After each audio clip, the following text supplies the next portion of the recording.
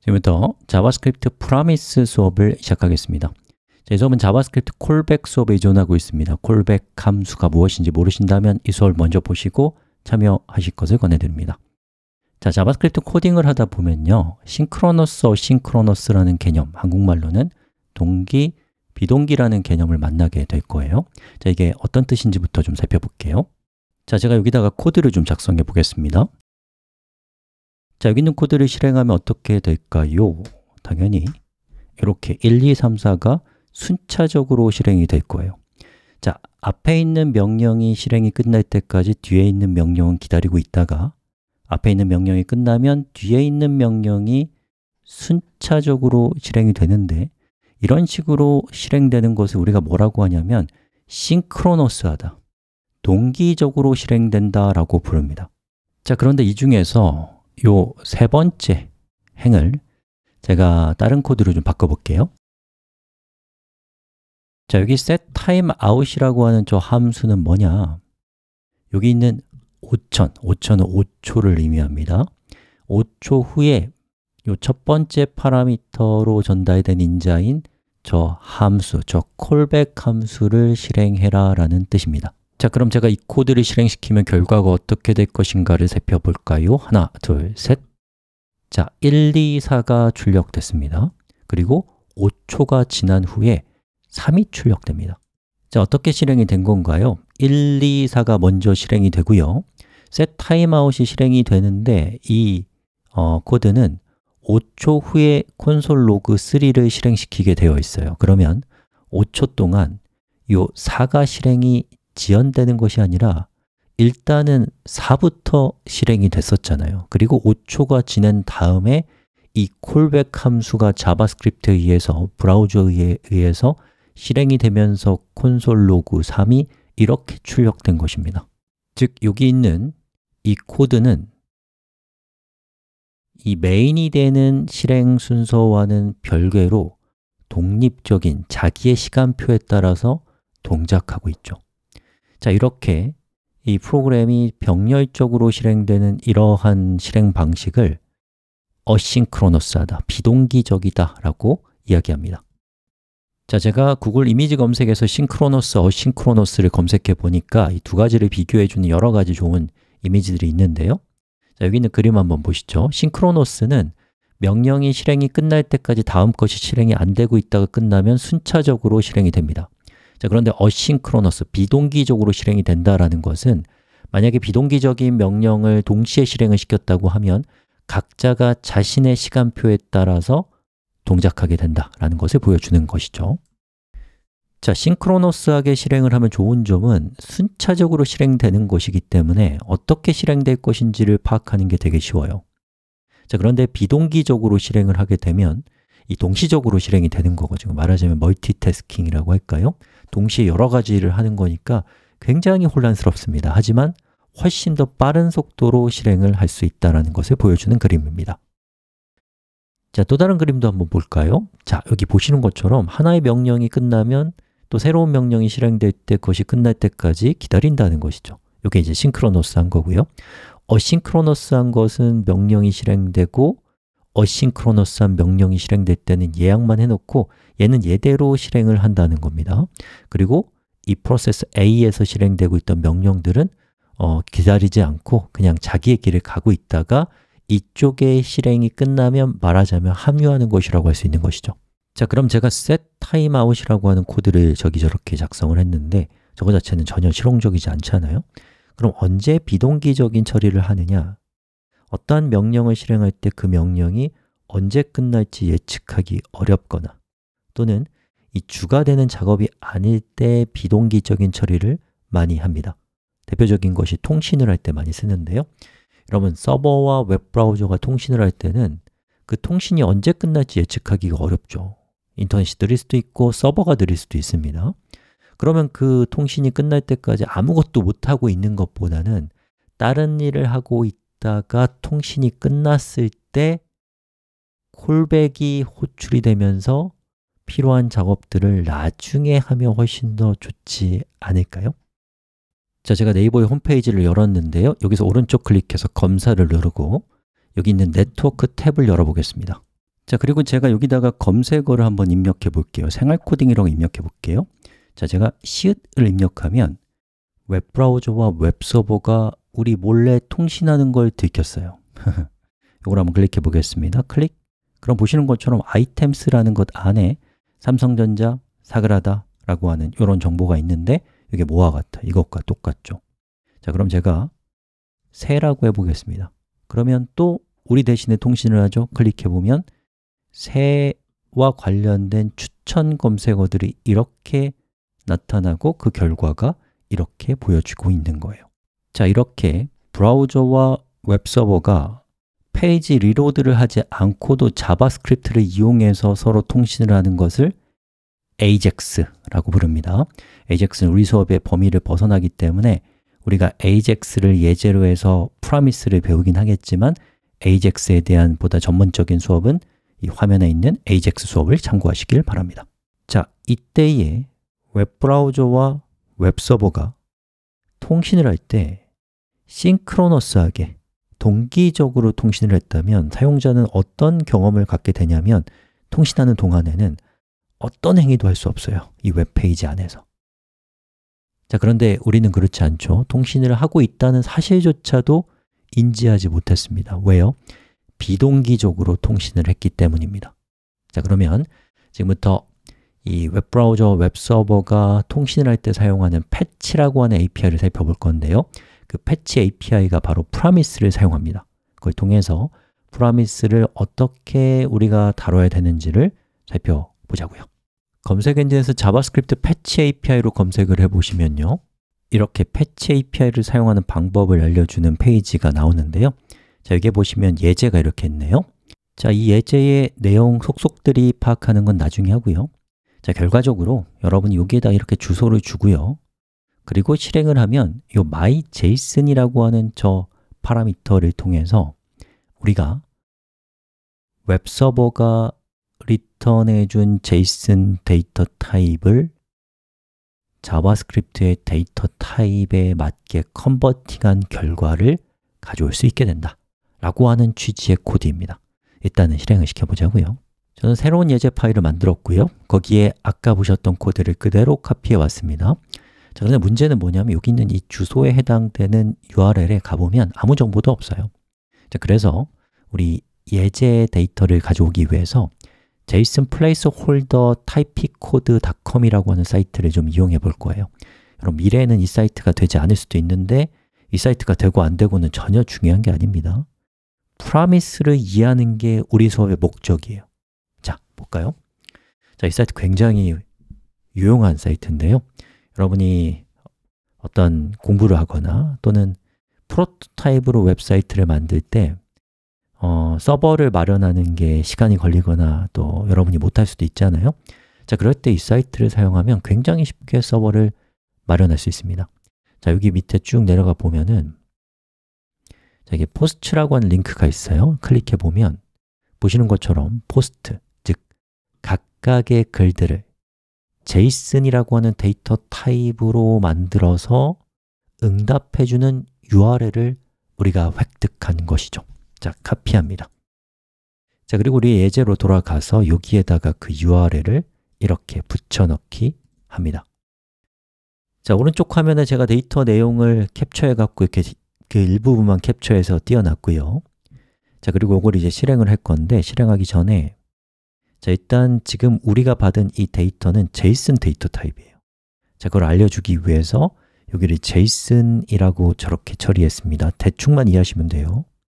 자, 그리고 나서 우리가 가져온 데이터는 여기를 통해서 얻을 수 있는데 여기 있는 이 부분은 필요가 없어요. 그래서 myJSON을 그대로 console.log로 출력해 볼게요. 자, 그리고 콘솔을 키우 키고요. reload 한번 해보겠습니다. 하나, 둘, 셋. 자, reload를 하면 어떻게 돼요? 자, 보시는 것처럼 이렇게 되는데요 자, 여기 0번째 데이터를 보면 id가 1이고 body는 QUIA로 시작합니다 id는 1이고 body는 QUIA로 시작하죠 즉, 여기 있는 이 JSON이라는 데이터 타입으로 된 텍스트를 우리가 이런 코드를 통해서 뭘로 바꿨어요? 자바스크립트의 데이터 타입으로 바꿨던 것이에요 그러면 저 데이터를 이용해서 여러 가지 작업들을 처리할 수 있겠죠. 자, 이렇게 서버와의 통신, 언제 끝날지 알 수 없는 이런 처리들은 비동기적으로 처리하는 경우가 많거든요. 자, 그럼 여기다가 제가 console.log 1이라고 하고요. 이 밑에다가 console.log 2라고 이렇게 하면 이걸 실행하면 어떻게 될까요? 자, reload 한번 해보겠습니다. 자, 실행하면 보시는 것처럼 1과 2가 먼저 실행이 됐고요. 그리고 통신이 끝나서 그것을 JSON 데이터 타입을 자바스크립트 데이터 타입으로 바꾸는 그 복잡한 작업이 끝난 다음에 이 callback 함수가 호출되면서 그 결과가 나중에 나온 것이죠. 자, 이때에 우리가 사용한 이 then이라고 하는 것, 저것이 바로 promise입니다. 자, 우리 fetch API가 어떻게 생겼는지 한번 살펴볼까요? 자, 여기 옆에 보면 fetch라고 하는 method, method가 함수와 같은 말이에요. 자, 저것을 한번 클릭해 보니까 아, 안타깝게도 한국어 페이지는 제공을 안 하네요. 그래서 영문 페이지로 바꿔서 이 fetch 함수를 클릭해서 한번 들어가 볼게요. 자, 이 fetch 함수의 어떤 형식은 이렇습니다. 자, fetch라는 함수에 resource를 줘요. 그냥 쉽게 얘기해서 URL을 주면 된다고 생각하시면 됩니다. 자, 그러면 이 fetch 함수는 어떤 값을 return할 것인데 그 return 값이 무엇이냐가 우리의 관심사예요 쭉 내려가 보면 return value가 뭐라고 되어 있어요?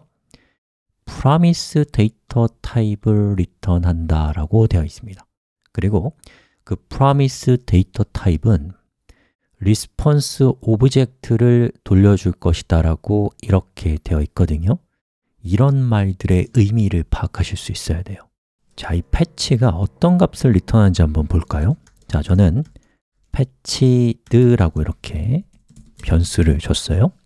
그리고 저 변수를 console log로 한번 출력해 보겠습니다.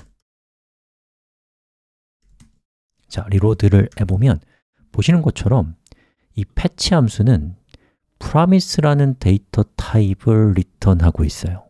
자, 아까 우리가 봤던 문구를 제가 띄어놨습니다. 자, 여러분이 어떤 함수를 사용하는데 그 함수의 return 값이 promise다.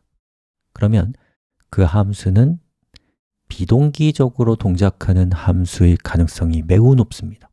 첫 번째. 자, 두 번째는 음, 그 함수가 리턴한 값은 두 개의 함수를 또 사용할 수 있어요. 정확하게 메소드라고 하는데요. 자, 하나는 then이고요. 또 하나는 catch입니다 자, then이건 catch건 둘 다 콜백 함수를 받습니다. 자, 여기 콜백 함수 한번 적어볼까요? 이렇게. 이렇게. 그리고 둘 다 파라미터를 하나씩 가지고 있어요. 자, then의 파라미터는 뭐 리조이트를 알려주는 거고요. 그리고 catch는 region이라고 이렇게 해보겠습니다. 물론 파라미터 이름 아무거나 해도 됩니다 자, then은 언제 호출되냐면 패치를 통해서 실행한 결과가 성공했을 때. then으로 전달된 콜백 함수가 호출되도록 약속돼 있어요. 그리고 그 콜백 함수가 호출되면서 그 결과 값이 있다면 첫 번째 파라미터로 받을 수 있습니다. 자, 또 하나 이 콜백함, 이 promise를 리턴하는 함수가 실행됐을 때 실패를 했다.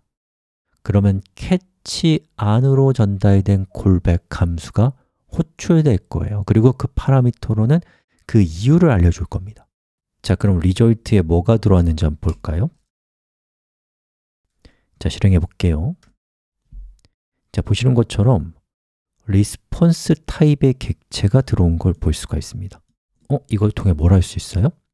자, 아까 우리가 봤던 매뉴얼을 보면 이 fetch의 return 값은 promise고 resolved 자, resolve는 이제 성공적으로 실행이 되었다라는 그런 뜻으로 생각하시면 됩니다 성공적으로 실행이 되면 response 객체를 줄 것입니다 라고 적혀 있었던 거예요 자, 바로 요 fetched의 then으로 전달된 함수가 실행되면서 response 객체가 전달됐다는 것을 우리한테 알려주는 것이죠.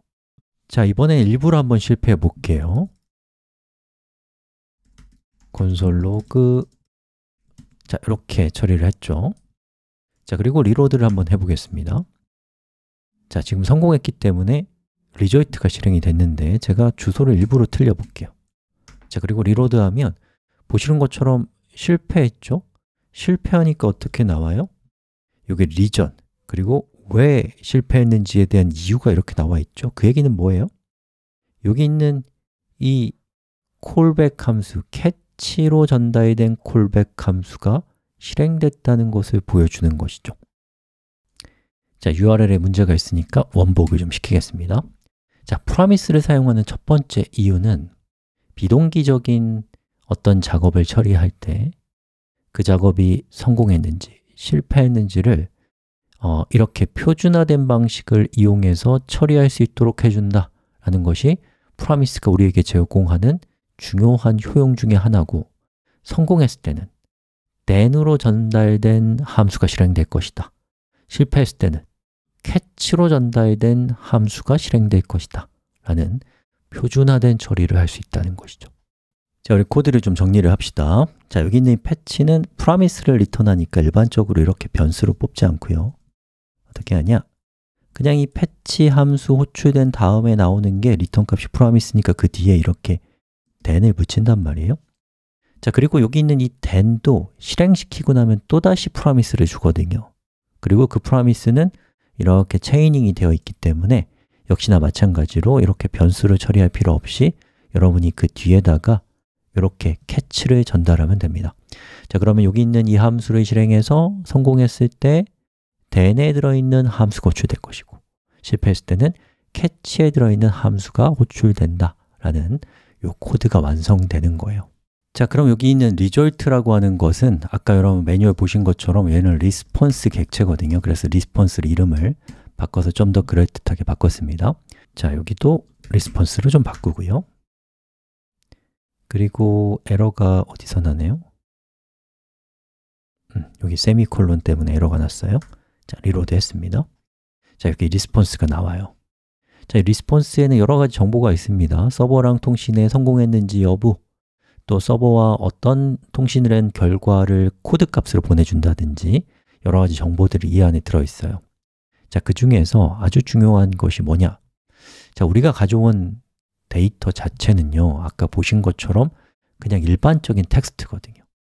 저 텍스트를 이용해서 여러분이 JavaScript로 가공을 하고 어떤 정보를 처리한다는 거 쉽지 않습니다.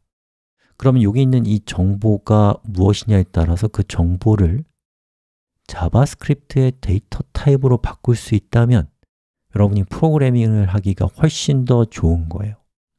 자, 그때 어떻게 하냐면요. 자, 이 response가 갖고 있는 함수 중에요. 텍스트라는 것도 있고요. JSON이라는 것도 있고 기타 등등이 있습니다. 자, 여러분이 JSON이라고 이런 함수를 호출하면요. 이건 무슨 뜻이냐면 여기 있는 이 텍스트가 JSON 데이터 타입이라는 것을 여러분이 JavaScript에게 알려준 거예요. 그러면 이 웹브라우저는 음, JSON 데이터 타입에 맞게 그 데이터를 해석해서 JavaScript의 데이터 타입으로 돌려주게 돼요 자, 이때에 이 response JSON이라는 것을 제가 reload해서 그것이 얘가 뭘 return하는지 한번 볼게요 자, return해보자. 실행시켜 보면 자, response가 어떻게 나와요? promise가 나옵니다 그 얘기는 뭐예요? response JSON을 했을 때 얘가 return하는 값 또한 promise라는 뜻이에요. 그리고 그 promise가 하는 역할은 JSON 텍스트를 JavaScript의 데이터 타입으로 converting을 하는 promise고 그 프라미스는 그 컨버팅 작업이 끝났을 때 then을 호출할 것이다 라는 것을 우리가 추론할 수 있는 거죠 자, 그럼 우리가 할 수 있는 게 뭐냐면요. 자, 요거 이제 지우고요. 자, response JSON이라는 것은 promise예요. 그러면 제가 리턴하는 값은 어떤 함수를 쓸 수 있다? then과 catch를 쓸 수 있다. 우리 catch는 하지 맙시다. 자, 그리고 여기 있는 함수, 즉 callback 함수가 들어간다. 그리고 그 결과 값을 첫 번째 파라미터로 받는다 자, 그러면 잘 받아지는지를 한번 확인해 볼까요? 자, 리로드를 하고 결과를 살펴보면 짜잔! 자, 보시는 것처럼 여기에 어떤 데이터가 들어왔어요? JSON 텍스트를 JavaScript의 데이터 타입으로 바꾼 이런 데이터가 들어온 겁니다 그럼 이제 우리는 저 데이터는 JavaScript의 데이터 타입이기 때문에 저것을 가공해서 여러 가지 작업들을 매우 매우 쉽게 할 수 있다라는 것이죠. 어? 오타가 있네요? S가 빠졌군요. 자, 이렇게 했습니다. 자, 그런데 일반적으로 이렇게 잘 하지 않고요. 아까 우리가 봤던 예제도 이런 식이 아니었어요. 자, 이거 주석 처리하겠습니다. 이렇게 하지 않고 이렇게 많이 합니다 저 then의 콜백 함수가 response JSON을 리턴해요 그게 무슨 뜻이에요? 여러분, 얘도 실행하면 뭐라고요? promise예요 그 promise를 리턴한 거예요 자, then으로 전달된 콜백 함수가 promise를 리턴하면 이 작업이 끝난 다음에 어떻게 또 처리할 수 있냐? 이 뒤에 있는 then이 또 달아서 여러분이 이 then에다가 callback 함수를 주는 거예요 그리고 데이터 그 다음에 아까 여기 있는 코드 그대로 카피해서 여기다가 붙여넣기 한번 해볼까요? 자, 그리고 실행을 시키면 아까와 똑같이 동작합니다 자, 우리 정리 좀 할까요? 자, Promise를 사용하는 두 가지 방법이 있는데요 자, Promise는 then을 사용할 수 있죠. 그 then 안에서 다시 Promise를 사용하고 그 안에서 또 then을 사용하는 겁니다. then 안에 then이 들어가고 then 안에 또 then이 들어간다고 해서 이런 걸 이제 nested 방식이라고 합니다. nested. 자, 그리고 또 하나는 요 then 안에서 Promise를 return하는 거예요. 그러면 보시는 것처럼 바깥쪽에서 이렇게 then과 then을 연결시킬 수가 있습니다. 이런 거 이제 뭐라고 하냐면 chaining 했다라고 해요. chaining 방식이라고 하고요. 자, 둘 다 장단점이 있습니다만 chaining 방식 일반적으로 좀 많이 사용되고 뭔가 좀 심플한 느낌이 있습니다. 자, 여기까지고요. 우리 정리 한번 해볼까요? 자, JavaScript Promise로 제가 이미지 검색을 좀 해봤는데요. 제가 여러 이미지들 중에서 음...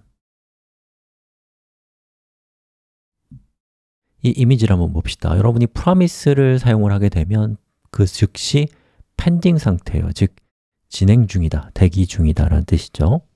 자 그리고 그 결과가 성공했으면 then으로 전달된 함수가 호출됩니다. 이걸 resolved 상태라고 하고. 자 만약에 에러가 발생하면 catch 안으로 들어간 callback 함수가 실행됩니다. rejected가 되는 거고요. then이건 callback이건 어, 새로운 프라미스를 리턴하면 다시 펜딩 상태가 시작되고 그 다음엔 다시 then과 catch를 예, 사용해서 예외 처리 또는 성공했을 때의 처리를 이렇게 해나갈 수 있는 그런 코딩을 할 수가 있는 것이죠 자, 여기까지입니다 promise 무엇인지 좀 아시겠나요? promise라고 하는 것을 이용하고 있는 API를 만나면 어떻게 쓰는지 좀 아시겠어요?